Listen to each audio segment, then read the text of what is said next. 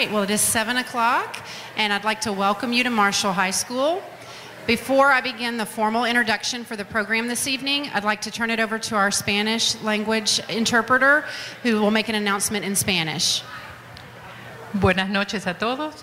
La reunión de hoy a la noche tiene interpretación simultánea al español. Para aquellos que necesiten la interpretación, por favor nos vienen a ver aquí abajo eh, con la mano levantada. El equipo está a su disposición y lo pueden seguir usando después de esta reunión para las conversaciones que siguen.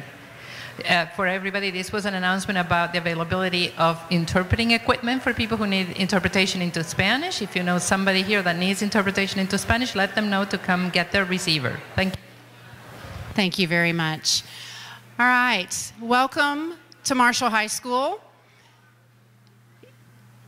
Please welcome folks into your row. We still have some, some community members joining us, so please be, a, be on the lookout and welcome folks to your row so we have enough spots. And if need be, kind of scooch to the middle so people can join your row. Um, I'd like to take a moment to introduce myself. My name is Beth Martinez, and I'm the Chief of Staff and Strategic Planning in Fort Bend, and I'm working in collaboration with our Operations Department, led by the Chief Operations Officer, Oscar Signs, along with our external uh, facilitator that I'll introduce to you in just a little bit. But um, before that, I would like to welcome this evening one of our board members, Addie Heyliger, and looking for her because I know she was out front. I'm not sure if she's in the auditorium yet, but Addie is joining us this evening, and um, I'd like you to help me make her feel welcome here and appreciate her for attending this event this evening.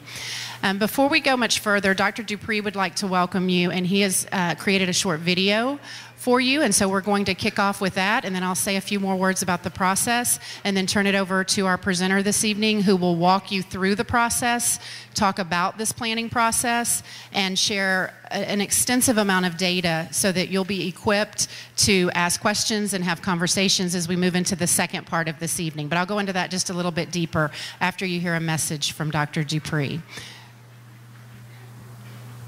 Good evening, and welcome to tonight's community meeting on facilities master planning. We truly appreciate you taking the time to join us and provide your feedback on how Fort Bend ISD can better utilize our facilities and serve the students of Fort Bend ISD while providing innovative programming and exceptional learning environments throughout the district. Tonight, you will hear more about options that have been developed by the community based Facilities Steering Committee. After a review of preliminary facilities assessment data from each school and an initial review of the overall educational environment at each district facility. As you discuss the various scenarios tonight, it's important that you keep a few things in mind. There are some key factors that you need to take into account as you consider options and give feedback on the options. One of the most important things you need to think about this evening is what the primary goal is.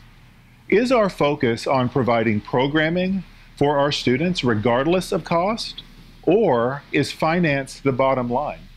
So you need to think about is the decision going to be fiscally conservative? For example, would we use every available seat at our high schools to rezone and get all the students balanced throughout our 11 high schools?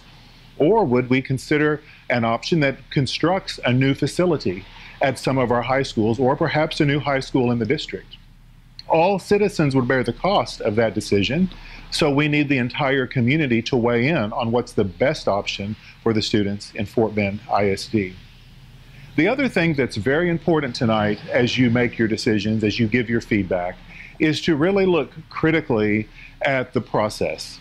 This is a transparent process that sometimes gets a little dirty, to be honest, because we're airing all kinds of options, many of which may concern members of our community because they worry about their community based schools. So it's very important that you understand and make sure that you interact with one another in an honest, transparent way with the understanding that the things you are hearing are options. Just that, simply options. They're not decisions, they're not recommendations, they're not even proposals, they're ideas. The work you do as a community will further guide the work of the community based committee as that committee develops ideas and then recommendations and proposals for the administration to take to the board. So that's why it's so important that we have as much community engagement in this process as possible. And with that in mind, the last thing I would ask you to make sure you consider as you do your work this evening is to make sure if you have a new idea, a fresh idea that you have not seen discussed anywhere in this presentation, please bring it forward. Share it publicly, put it in your notes, put it in your feedback. We're still looking for ideas and solutions for ways to best utilize our facilities while advancing and growing academic programming for all students in this school district. No idea is a bad idea, and all ideas will be given full consideration. And now it's time to get on with the work of the evening. You've got a lot to do.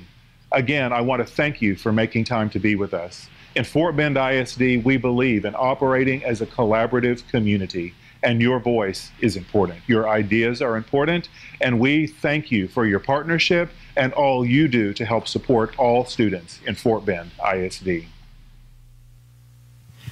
Thank you. Before we move on, if you could just take a look around and if you see folks standing, if you could move to the center of your row area and folks on the sides, if you could join in here. There's seats up top, there's some down here, um, there's a few up in, in this area here. So just kind of move towards the middle as you can and, and join along so you can see the screen. As you make your way to your seats and make room for your neighbors, I would like to reiterate uh, one of the critical factors that Dr. Dupre covered, and that is that the information that you're going to be working with this evening, the options, as he said, are just that. They are options. These are not decisions that have been made, and these are not in the recommendation stage to go to the board. And that is uh, a challenging process to do in public, but it's a beautiful process when you have the opportunity to talk through the information with facility steering committee members and with your neighbors and with staff, and then generate possibly additional ideas that we might be able to consider in this process process as the Facility Steering Committee works to shape recommendations that will go to the board in May. So I really impress upon you to remember that, that these are ideas. You're going to generate some additional ideas this evening that folks in the next two meetings will hear about and we'll be sharing out as well and asking our Facility Steering Committee to uh, contemplate as they work with staff to build the options, uh, change the options into recommendations for the board. So it's very important that, um, that you're open to the process this evening and that the these next few moments as you learn a lot of data and you kind of travel across the district that you're able to focus in on those important areas for you and for your family and for your students, but that you also are given an opportunity to see a district-wide viewpoint in terms of the options that others have, have come up with. So with that, I'd like to introduce this evening our consultant that we've worked with through facilities planning and um, some boundary planning in the past, and that's Scott Leopold with Cooperative Strategies. And he'll be sharing over the next probably 40 minutes some very detailed information. And then like I referenced earlier, we will convene in the cafeteria where we'll have uh, time for questions and um, input and clarification and ideas sharing and a little bit of collaboration with others in the community and with our staff and steering committee members. So I'd like to turn it over to Scott. Thank you, Beth. Uh, again, my name is Scott Leopold. I'm with a company called Cooperative Strategies. Uh, I personally have been working with Fort Bend ISD since 2013 when we did the original master plan. Um, all I do is facility planning and, and this type of work. I, we also do demographics, but my background is, is purely in community engagement and facility planning. We're not architects, we're not engineers, we don't have any vested interest in any construction or bond program. We're just planners. Uh, I want to start by quickly kind of going through the agenda for tonight. I'm going to talk briefly about the process, and then we're going to start getting into data. Uh, we have the PASA demographic update. We have some preliminary uh, condition assessment data from PBK Architects. We also have some capacity information. We're also going to look at the options. Um, all of our options are sorted by feeder pattern, and then we have additional idea parking lots and these idea parking lots, again, we're looking for additional ideas because these options aren't finalized. We're still collecting that feedback. And so if you've got an idea that you don't see up here that you'd like us to consider, like the committee to consider, absolutely share that with us. And we'll have uh, all kinds of materials out in the commons after I present for you to be able to do that. And I'm also going to kind of review the ideas that did come up last night. This is an open and transparent process, and so we want to make sure that we're collecting as much feedback as we can, both on the options that we've developed in the committee and also on the ideas that other community members come up with. Um, the, the real goal for tonight is feedback. Uh, so we're going to have an online survey. It's actually been posted uh, since yesterday. We already have over 700 responses. We've got a great turnout. Um, and again, the, the, the, purpose of these options was to get community feedback. We've accomplished that. We're getting a great, great turnout on all this information. And then we'll talk about next steps. Here's our overall planning process. Uh, we started with a project startup, and then we began collecting data. And so the data that we use in facility planning, we're looking at things like enrollment data, condition data, the condition of the facilities, and capacity. We've taken all that data and we've kind of vetted it through the steering committee and the board of trustees. Then we went through an educational framework process. And what that is, is we, we had some community meetings in February. We talked about some high level ideas. Uh, you know, what do we want high school education to look like? Um, do we want larger schools or small, smaller schools? Do we want to be fiscally responsible? Do we want to focus on program? And then we, we took that information through the facility steering committee, the board of trustees. We looped through the community feedback and took it all the way back. We used that as an envelope to develop options in within the steering committee. The options that we developed within the steering committee then went to the board of trustees. And then here we are uh, today collecting feedback. And this is another loop where we're, we're going through the steering committee, through the Board of Trustees and then back to then finally develop recommendations to the board.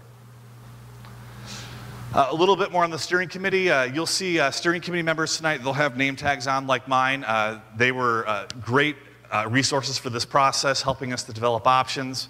We have a total of 30 members, and not all of them are going to be here tonight.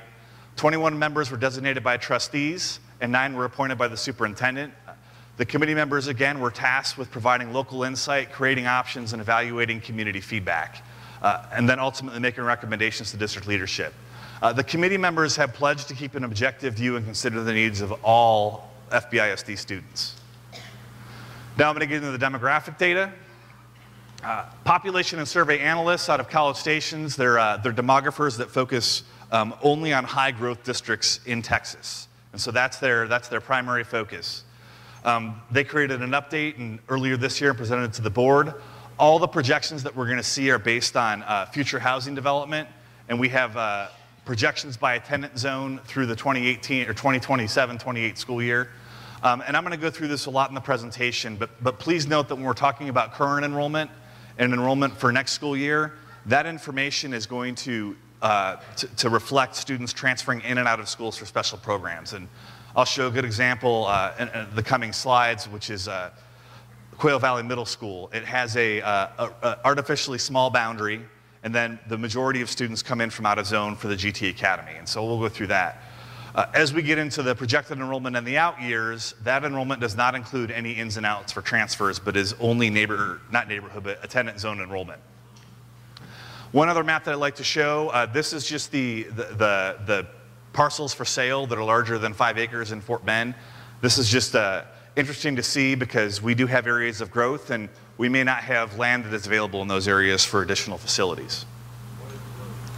Um, I'm going to go through this.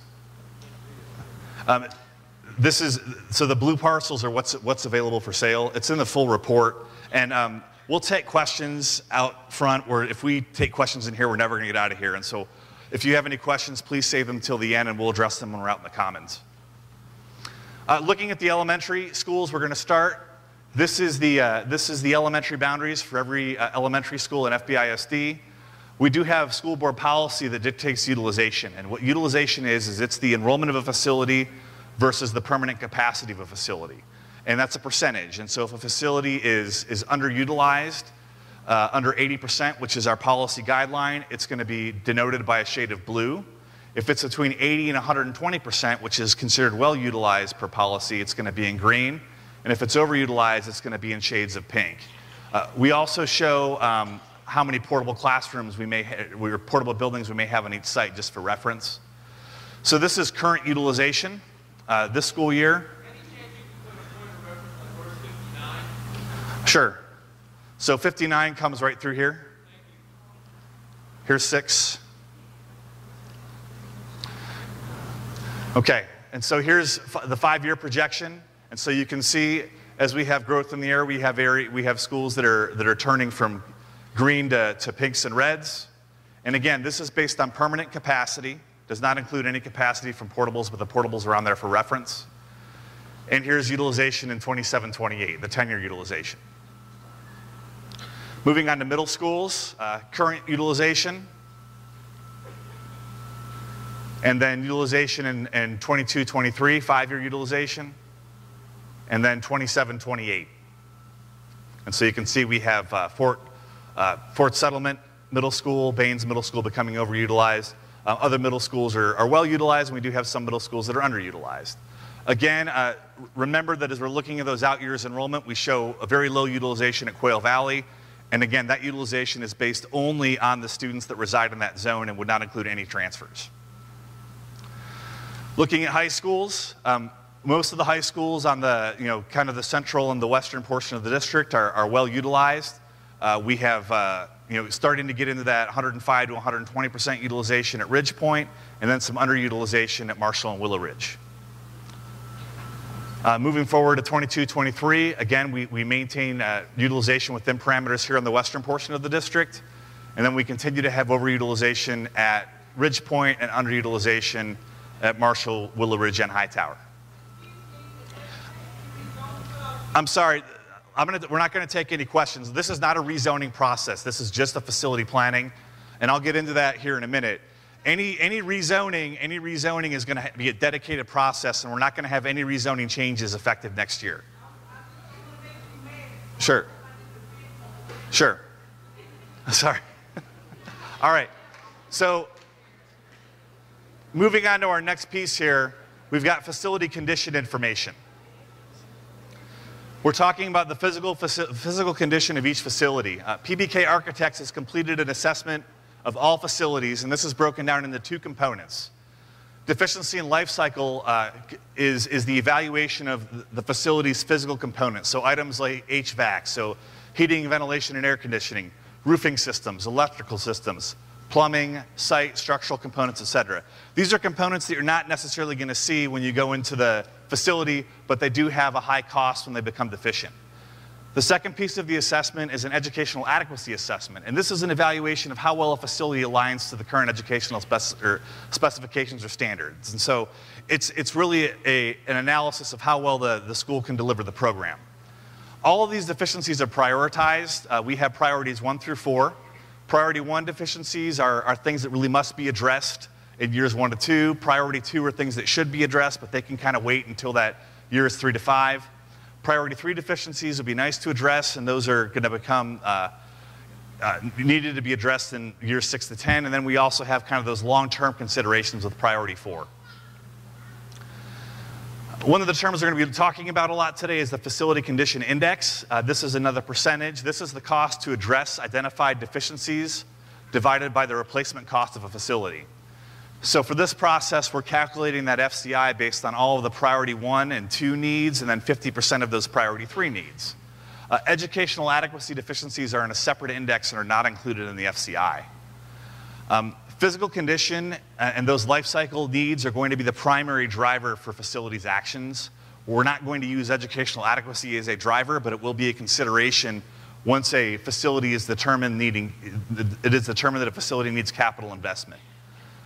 Uh, one last thing we have here, we have the 66% or the two-thirds guideline. And, and, what that is, is if, is if we have a facility that's in poor condition and the repair costs exceed 50, 66% of the replacement costs, it's often more cost effective to replace the facility rather than renovate it.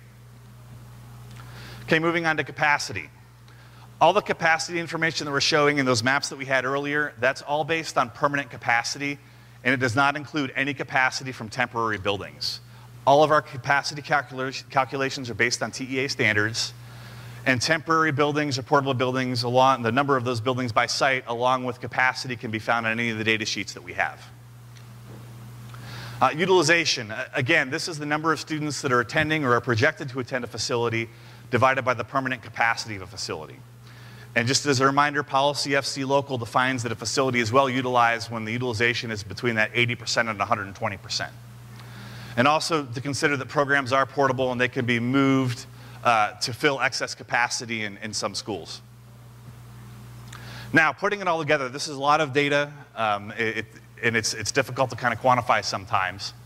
The following slides are going to show a time lapse of all the facilities with their associated FCI and utilization information over the next 10 years.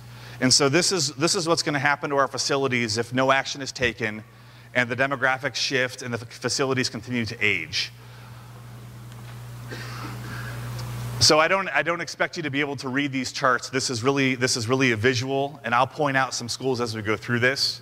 But we have kind of our, our decision thresholds here on this chart. And so if we look at the x-axis or look horizontally, that's the utilization of a facility. And so if a facility is over 120% utilized, it's going to be in this box over here or these boxes up here. If it's under 80% utilized, it's going to be in this area here. The y-axis or the vertical axis is going to be the condition of the facilities. So the facilities that are newer and in better condition are going to be lower on the chart, and as they age, they're going to be higher.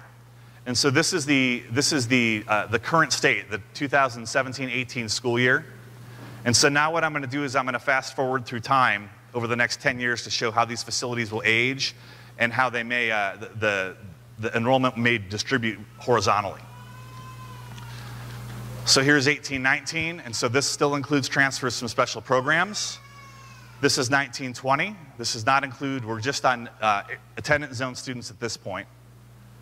2021, 2022, 2023, 2024, 2020 or 24, 25, 25, 26, 26, 27, 27, 28. And so you can see, you know, as facilities age, they kind of move up on this list. And as the demographics shift, we have some schools that maybe, you know, kind of on that threshold of being overutilized now that do shift way to the right of being overutilized.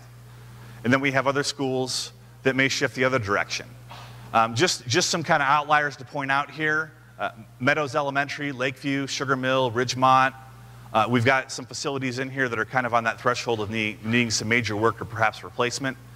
And then we have some facilities that are overutilized over here that are in better condition but still overutilized.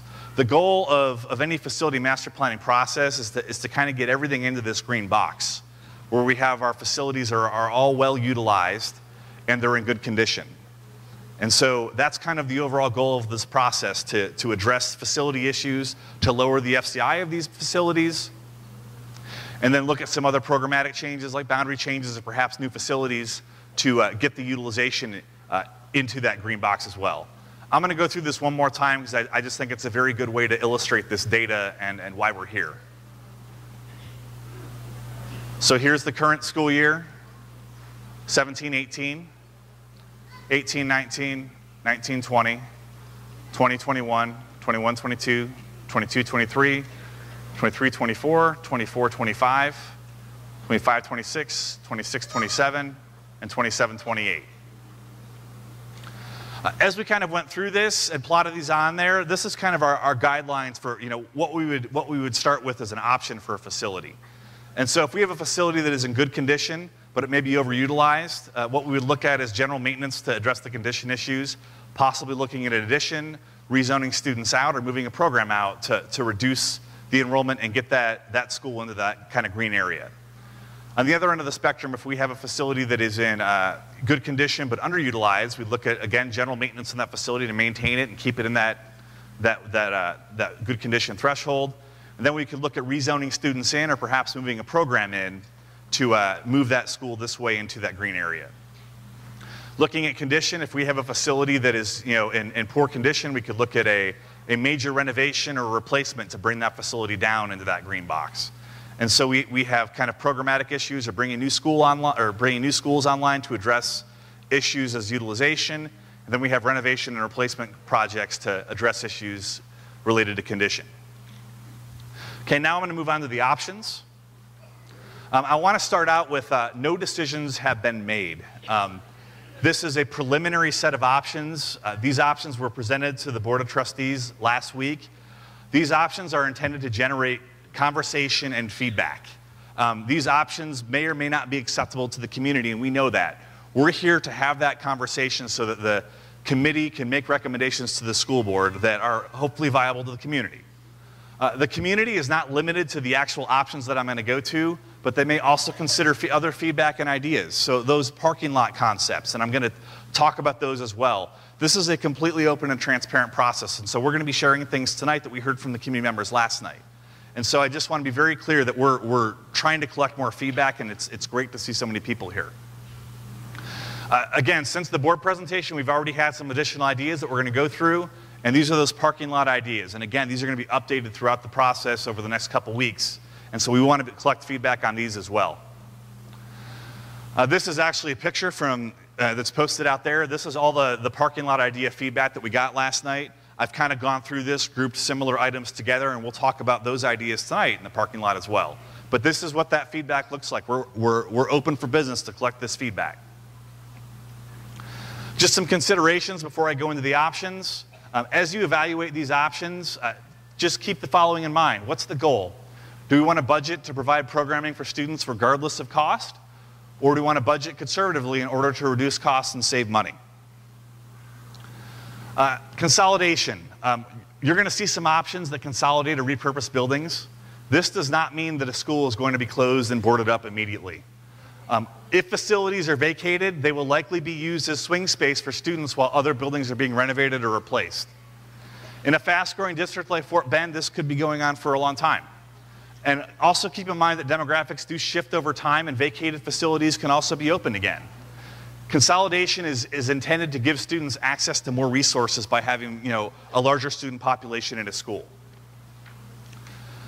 All of our options are grouped by high school feeder pattern, and the reason that we do this is because we show costing information by option. And so we can't have uh, a school that, that, that is physically located in a one feeder pattern that has a boundary that goes into another feeder pattern in both feeder patterns because it would throw our costs off.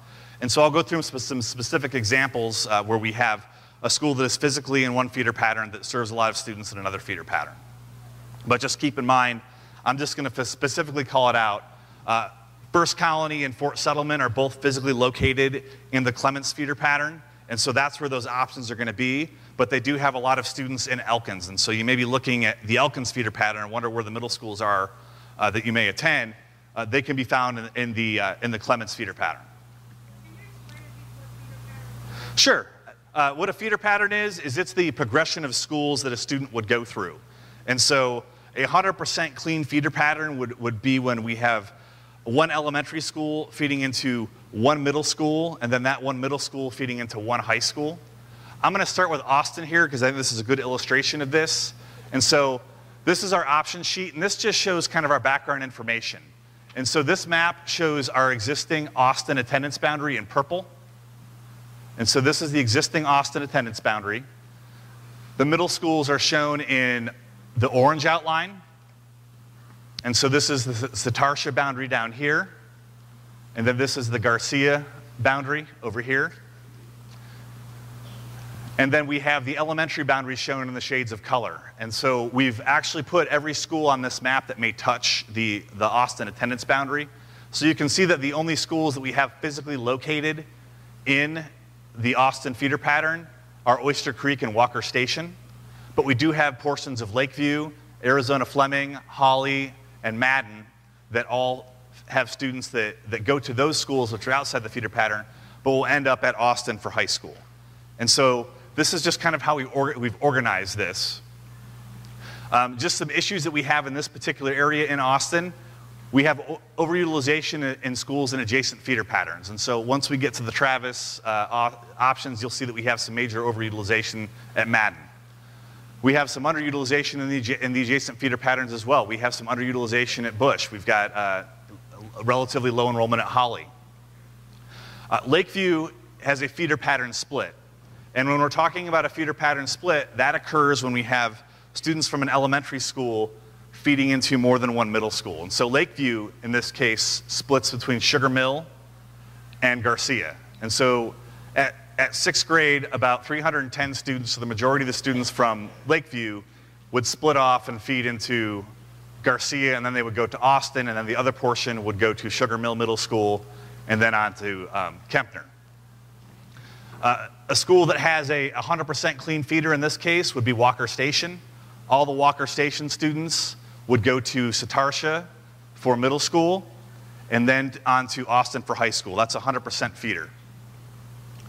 When we look at, I'm going to I'm to spend some time on this sheet just to go through all this data, and you'll see all this data sheet, uh, all these data sheets out in the Commons, and this is all posted online as well. Here's all the information that we're looking at. We have school name, school type, what the year built was, square footage of the facility, and that's permanent square footage and does not include any portable space. Deficiency cost, so how much does it cost to uh, address those priority ones, twos, and half of those priority three issues? And then we have our index, which is the deficiency cost divided by the replacement cost of that facility. We also have in here just the educational adequacy index for reference. And then we have our capacity information. And again, this is how many students the facility can hold in its permanent space. And then for reference, we have the number of portable buildings and then the portable capacity as well. Um, this is not a component of this. These are totally separate numbers. Uh, we don't show them added because per policy we're looking at permanent capacity, but know that if a facility is over 100% utilized, it likely has students and portables to accommodate that over enrollment. Yes, we'll, we will get to Marshall. I'm just starting with Austin. We're, no, I'm sorry. We, we have to go. We have to go through every single feeder pattern. We have to have we have to have the same the, the same show every night. I will get to Marshall. I, I promise. Okay, I'm going to continue to go through this. So this is our current enrollment. This is our five-year projected enrollment. So this is the data that we're using for planning. Then we have our enrollment change.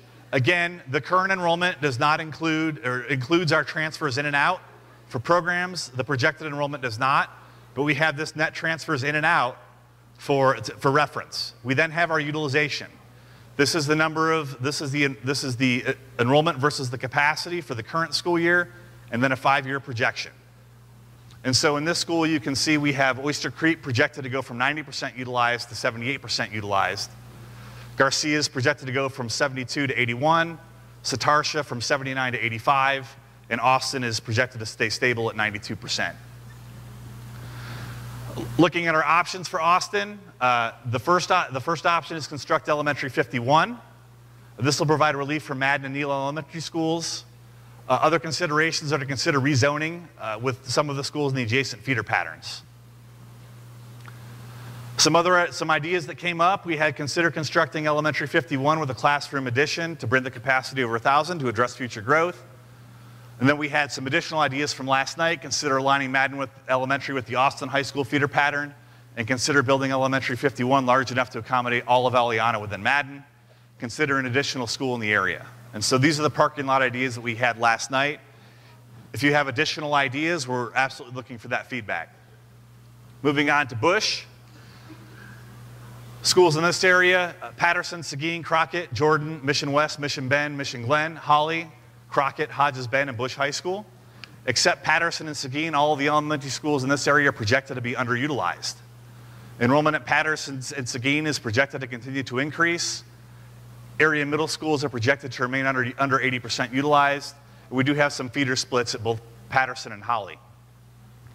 So our options in this area are very simple. Just perform life cycle and renovation replacements on all other facilities based on need. Consider rezoning students from overutilized schools to schools in adjacent feeder patterns to balance enrollment. We haven't gotten any parking lot ideas in this area yet. Moving on to Clements, our issues that we have here, uh, we have utilization in Commonwealth, which is projected to remain over 120%. Colony Meadows is projected to remain over 120%. Utilization at Fort Settlement is currently below 120, but is projected to reach 120. We don't have any land for sale in this area to be able to, to build additional capacity to do this, to, to fix this. So our first option here is to consider some additions at Austin Parkway, Colony Meadows, Commonwealth, and Settlers Way. That'll help bring our utilization down in this area. Option two, this is kind of an outside of the box idea. The idea here is to consider repurposing the administration annex on Sweetwater, which is right here, to serve the schools in that area. It could be a K-1 facility that supports the schools in the area or you know, perhaps something different. Looking, moving on to middle schools here, uh, we have some imbalance and overutilization at Fort Settlement, and First Colony is a, is a little underutilized at 100 or at 104%. And then this option will put an addition on First Colony, and then we'd have to rezone to balance enrollment between First Colony and Fort Settlement. Some other parking lot ideas that we got consider reuse of a commercial site along 6 for additional elementary capacity, and also consider moving the gifted and talented program at Quail Valley to another middle school, and then perhaps looking at balancing enrollment between Quail Valley, Fort Settlement, and First Colony with possibly within the Elkins feeder pattern. Some other ideas, consider using uh, the University of Houston Fort Bend facility to relieve Clements at Fort Settlement, looking at partnering with charter schools to reduce enrollment, build a new middle school in the Riverstone area, consider the annex as a 4-5 center, also to take another look at capacity in, at Fort Colony Bend and consider an addition, uh, and then consider aligning Telfair back to Kempner to relieve Clements. So Dulles, facility issues here. Meadows Elementary, if you remember our chart before, Meadows is the, was the highest, uh, highest uh, dot on the chart there. It has the highest FCI of all facilities. The remaining elementary schools have utilizations that are between 66 and, and 118 percent. Barrington Place currently splits between Dulles and Kempner. Looking at our options here, the first option is to demolish and rebuild Meadows Elementary on its existing site, right size for the population. We look at performing life cycle replacements on the other facilities. Uh, other considerations, the Meadows students would have to be accommodated at, at a nearby school or another site while the existing facility is demolished and rebuilt. Uh, option two, uh, vacate the Meadows Elementary site and accommodate the students in adjacent schools. We could have enough capacity between Barrington Place and Dulles to, to just serve those students in those schools. Some other ideas we had here, consider rebuilding Meadows large enough to serve both Barrington Place students within the Dulles feeder pattern. And so we look at, look at building a facility large enough on the Meadows site to accommodate all the students in the, in the Dulles portion of Barrington Place. We'd look at serving this portion, about 200 students within the Kempner feeder pattern in those schools.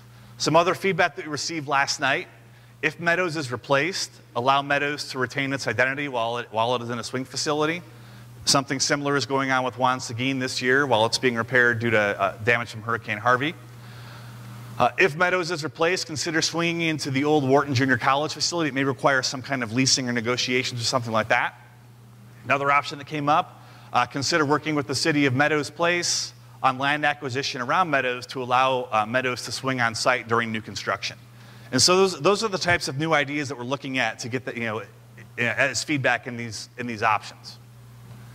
Moving on to Elkins. Uh, utilization at Palmer is projected to be over 120% utilized. Palmer does split between Elkins and Hightower. Uh, continued growth in Riverstone is projected to increase enrollment at Elkins High School uh, but it's not projected to exceed 120% until 26, 27. Uh, again, as I alluded to before, the, the middle schools that serve Elkins south of 6 are both First Colony and Fort Settlement, and those options are going to be on the Clements feeder pattern. And so if you want to provide feedback on those middle school scenarios related to Riverstone and Sullivan, you're going to have to go to Clements for those middle school options. So looking at our, at our options for this area, uh, um, we'll, we'll, address that when we get to the, I'll, I'll, make sure that I hit that at the end. I'm just saying that, that the middle schools, for First Colony and Fort Settlement, are in the Clements feeder pattern. And so when, you, when you're out in the Commons, look at Clements for the options for those two schools because the boundaries do spread into um, Elkins. The only two middle schools that are physically in Elkins are Quail Valley Middle and Lake Olympia. So you're going to have to kind of bounce between Clements and Elkins for those areas. Okay, our first option um, is to, to, balance enrollment up, up here with Palmer. Consider rezoning between Lantern Lane and Quail Valley to balance that enrollment. Again, Lantern Lane we're at 111%, Quail Valley we're at 72%. Consider projected utilization at Austin Parkway and looking at that to balance enrollment with Sullivan. So Sullivan is, uh, is projected to become, you know, it's not going to hit that 120% threshold, but it's getting there as that growth in Riverstone continues. We may have additions on Settlers Way and Austin Parkway, and again, those are also in the Clements area. They may be able to relieve Sullivan. We want to look at preventing a, a renovation life cycle replacements at the other facilities. Uh, keep in mind that we do have an addition that was planned for Palmer that wasn't constructed. That'll be in our next option. And we do have a new school along Lake Olympia Parkway in the Fort Bend Toll Road corridor that's an option in the Hightower feeder pattern. And so that'll help address our Palmer issue because that's that growth that we have projected along the Fort Road corridor and Lake Olympia Parkway. Another elementary option for this area, consider building an addition onto Palmer. Uh, consider, again, rezoning between Lantern Lane and Quail Valley to balance enrollment. Consider projected utilization at Austin Parkway and Settlers Way to balance that enrollment with Sullivan. So middle school options for this area. And again, this is going to focus on Quail Valley and um, Lake Olympia. Consider expanding the GT program at Quail Valley to draw uh, enrollment away from the other overutilized middle schools, so like, uh, like uh, Fort Settlement or First Colony. And again, this is not talking about rezoning. This is just talking about existing the program as it is now.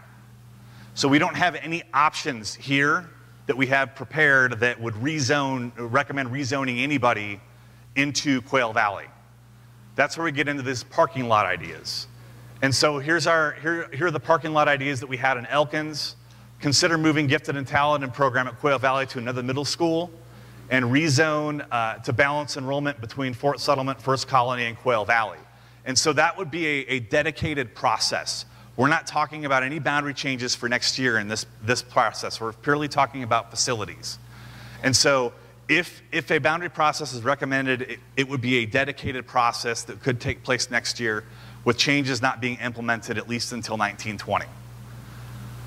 Uh, consider addressing Lake Olympia Parkway or Fort, Fort Bend Toll Road corridor growth with additions on Palmer and Parks instead of building a new school.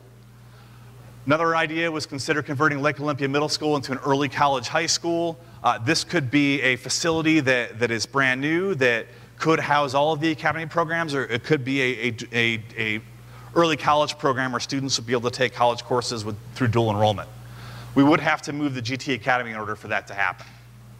Because we would need to rezone the Lake Olympia students uh, in some way, shape, or form to Quail Valley. Some other parking lot ideas that we had uh, from last night uh, partner with charter schools, uh, build a new middle school in the Riverstone area, consider the intersection of LJ Parkway and University or, or Sixth and University. Uh, this is another one. It's time for the district to consider vouchers to give parents options uh, different than overcrowded campuses and underperforming schools. That was something that came out last night. Okay, Hightower. Uh, our, our, issues here uh, utilization at Burton is projected to remain under 80%. Utilization at Parks is project, projected to exceed 120%. Utilization at Hightower is projected to you know, be below 80%. But again, remember that um, this projected number does not include any students in any academies. We do have a couple academy programs at Hightower that currently are about 200 students uh, coming into that school from out of zone. Uh, Hightower does not have a middle school within its boundary, and so it's the only school in the district that does not have a middle school within its zone. It's served uh, exclusively by Lake Olympia, which is in the Elkins zone, and Palmer does split between, uh, Lake, between Hightower and Elkins. Our option for this area, construct a new elementary school to relieve parks. Uh, and it would be somewhere in that Lake Olympia Parkway, Fort Bend Toll Road corridor where that development is occurring. Uh, and again, this could also provide relief for Palmer and the Elkins feeder pattern. Uh, some other ideas that we had, consider addressing the Lake Olympia, uh, you know, this, this growth area with additions at both Palmer and Parks instead of a new facility con consider converting Lake Olympia Middle School to the early college high school like we mentioned in the previous slides. Okay, Kempner. Lakeview also has one of the highest FCIs in all of Fort Bend ISD. It also has an expansive attendance zone that goes beyond uh, east or west of 1464. And if you recall from our FCI slide, Town West, Sugar Mill both have marginally high FCIs as well, and they do need, require some significant renovations.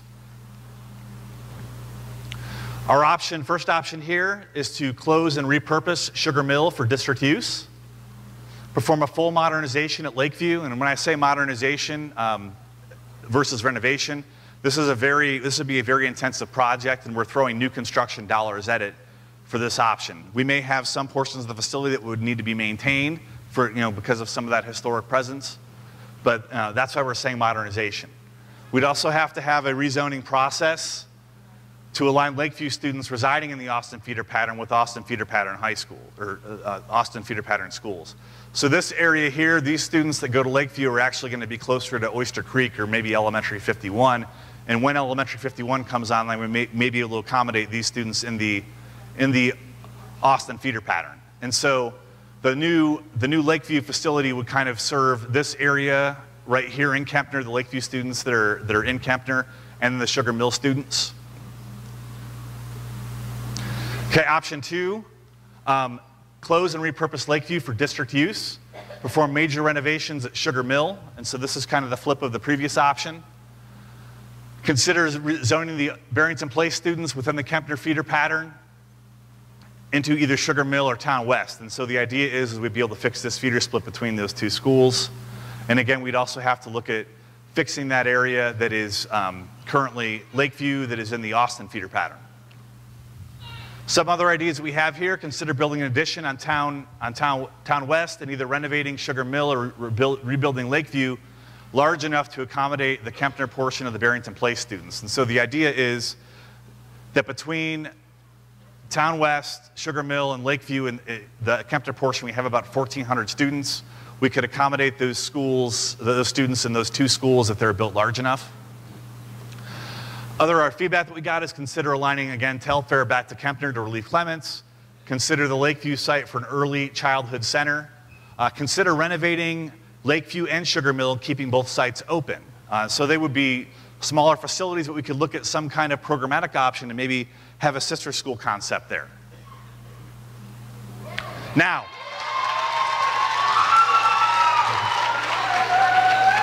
I want to I want to thank you all for being so patient. But, but please, please let me get through, please let me get through this uninterrupted so that we can get out into the commons and have discussions and collect feedback.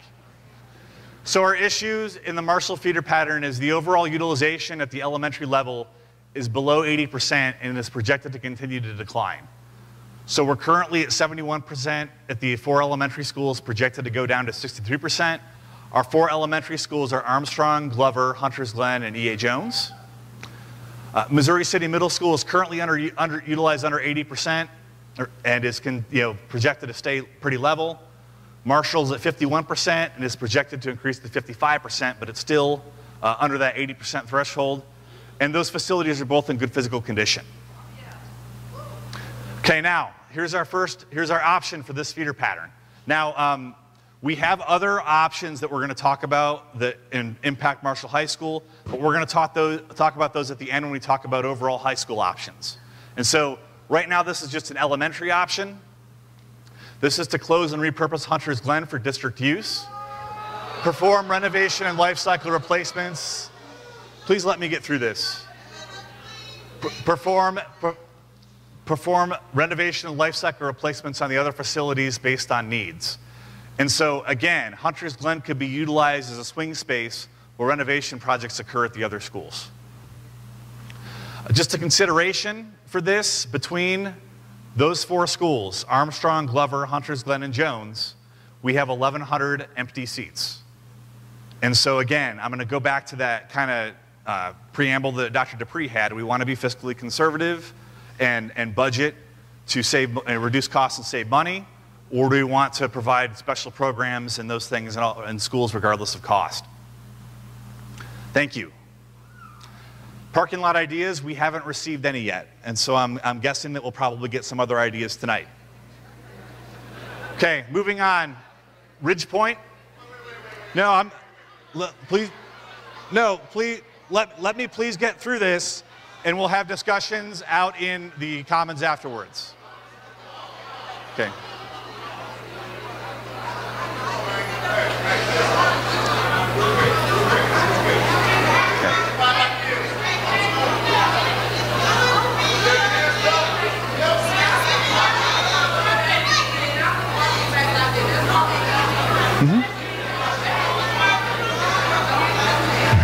Okay, the way that the presentation is structured, as you could see, was in alphabetical order by high school feeder pattern.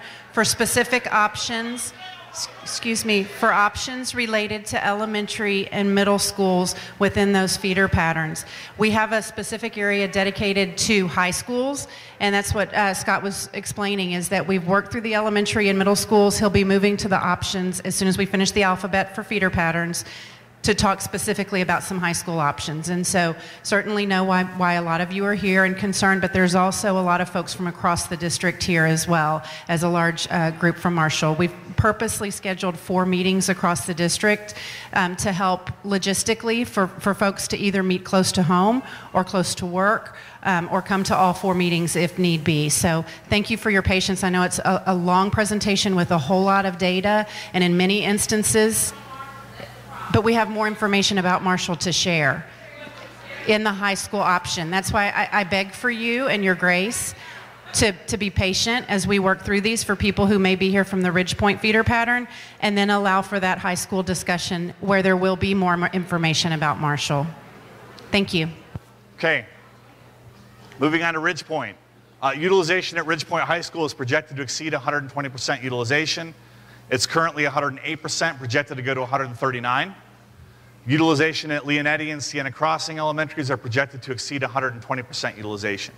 Heritage Rose is also projected to stay below 120% within the five years, but exceed 120 after that. Uh, we still have pr more projected growth in this area beyond the five-year planning horizon.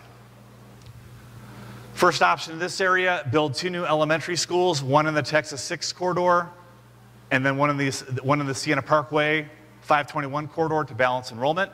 And keep in mind, we do have additional growth projected in this area after 22-23.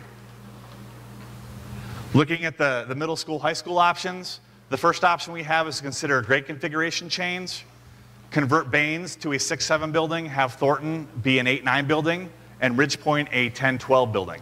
And so that would reduce the overutilization at Ridgepoint by, by moving that enrollment down to the middle schools. Our last option uh, in Ridgepoint is to construct a ninth grade center for 1,000 students to relieve Ridgepoint High School. High school enrollment is projected to reach 4,000 students within the next 10 years. The total capacity at Ridgepoint with a ninth grade center would be 3505. And so it would get us closer to that number, but we'd still need some additional actions to, to totally relieve that overutilization. Parking lot ideas. If building a ninth grade center is not an option, would you rather see a rezoning process to distribute Ridgepoint students to the other schools or a programmatic change at Ridgepoint like a split shift to accommodate students? And so basically having an AM shift and a PM shift. Uh, other feedback that we got, if the grade configuration change can't be implemented for next year, uh, consider opening Thornton with only 7th and 8th grade to avoid any kind of double move scenario and then fully implement the 6, 7, 8, 9, and 10, 12 option in 2019-20. Moving on to Travis, uh, due to current overutilization, uh, first through fifth graders enrolling in Madden are being overflowed to Oyster Creek. Utilization at Madden is projected to be over 200% by the 22-23 school year. Elementary 51 is planned to open in the fall of 2019, but will not have enough capacity to address over, uh, over the projection uh, between Neill and Madden. And so we do have adjacent capacity in Bush and Austin, in Oyster Creek and Holley, and so we may have to look as the boundaries are, are being determined for Elementary 51, uh, balancing the enrollment between those schools. So here's, again, here's our first option. Build a campus addition on Neill. So the core was designed for 1,000 and then rezoned to balance enrollment, knowing that we're going to have relief for Madden coming from the Austin feeder pattern. And so again, the location for elementary 51 is going to be right here, but that data is going to be in the Austin feeder pattern. Some parking lot ideas that we had in this area, consider building an addition on Oakland to address overutilization. Consider aligning Madden Elementary with the Austin High School feeder pattern so that we have a clean feeder from Madden to Austin to Garcia, or Madden to Garcia to Austin. Consider building Elementary 51 large enough to accommodate all of Aliana uh, within Madden and 51 consider an additional school in the area beyond 51. Um, other ideas of Madden is going to Travis, it should, it should feed to Bowie and not Garcia. Also looking at building a two-story addition on Madden uh, where the existing portables are, uh, and then also consider rezoning all non-Aliana residents out of Madden. Okay, Willow Ridge. Utilization at three of the four elementary schools is projected to decline below 80%. Blue Ridge, Briargate, and Ridgemont all have FCIs that exceed 50%. And so these facilities are all in need of some, some major renovations. McCall. So again, uh, as I went through earlier, the facility condition index or the FCI, that's the, that's, that's the renovation cost versus the replacement cost. It exceeds 50% at all, you know, at three of those four buildings. And so they're in need of major renovation work. Willow Ridge High School is projected to remain under, under 80% utilized. So our first option for Willow Ridge is to have a major renovation at Ridgemont to create a PK through first grade building, focusing on early literacy. We would construct a new 1,200 student station two through five building on the Shadow Creek Ranch website, or the Shadow Creek Ranch site, to accommodate the addition of the other students. We would close and repurpose Blue Ridge, Briargate, and Ridgegate. One of the considerations in this option is that all students would be together by grade, uh, pre-K through 12th grade.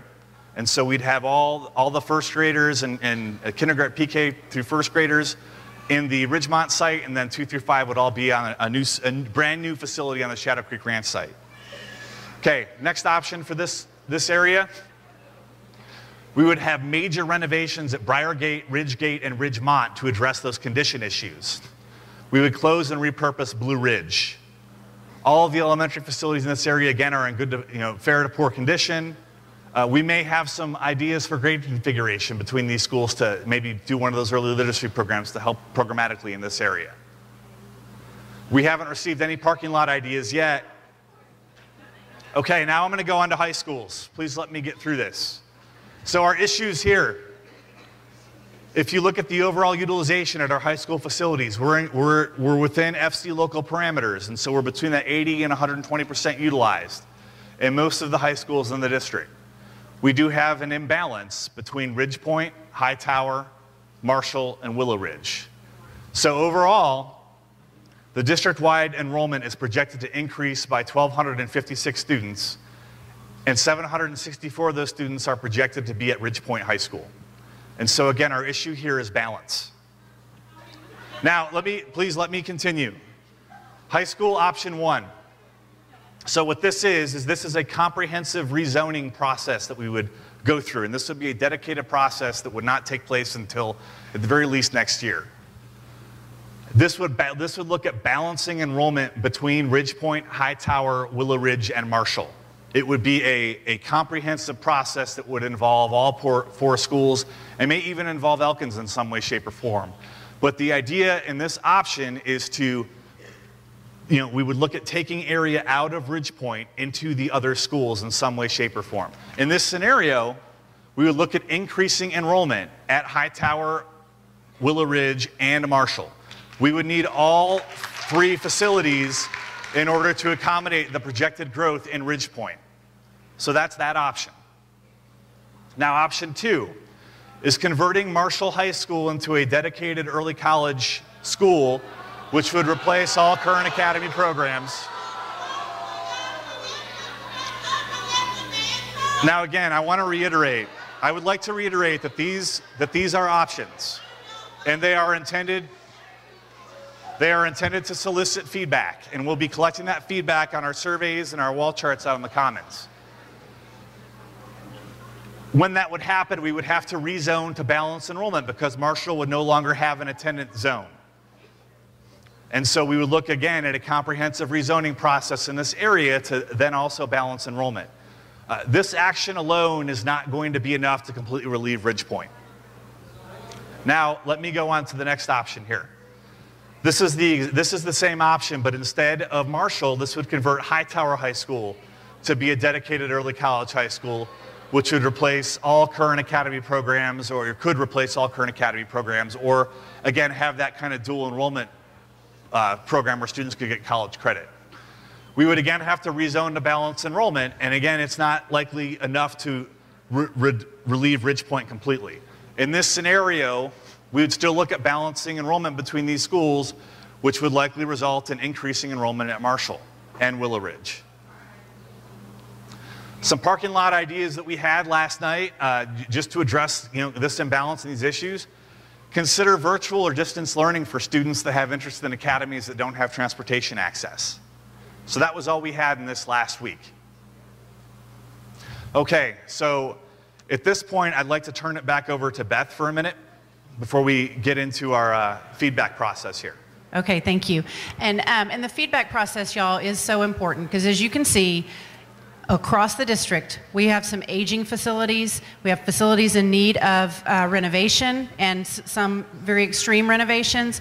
We have low enrollment, we have high enrollment, and we need your best thinking around some strategies and some ideas and some solutions for how to mitigate these concerns across the district. And so I'm born and raised here, graduated from Fort Bend ISD. I've been here, like many of you, watched it grow and explode in some areas and decrease in population in other areas and change over time in and out. And, and what is so beneficial to this process that will be our second time in the facilities planning process is this community engagement process. And so, you know, I, I know being, being here and being a parent in this district as well as an employee that we are all tied to the heartbeat of our communities and to our schools. And so we hear that passion and we know it. And, and we, we need to know